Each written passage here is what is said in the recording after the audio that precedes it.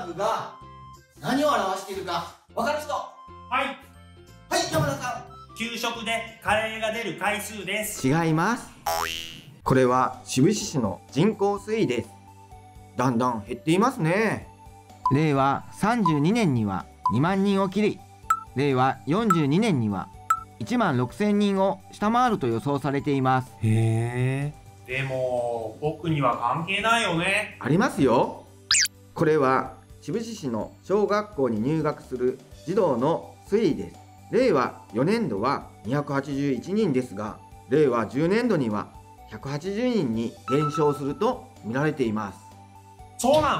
そして小学校の児童数は令和10年度には全体で424人減ると予想されているんだよ。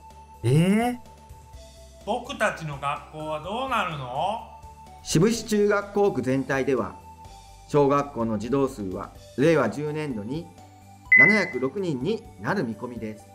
詳しく見ると志布志小は256人に勝木小は240人に安楽小は188人にそれぞれなります。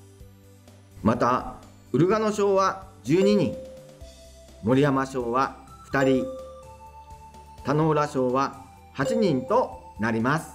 そうなんだ。早くみんなに知らせないとですね。まだチャイム鳴ってませんよ。んじゃあみんなでこれからの学校について考えていきましょう。ですです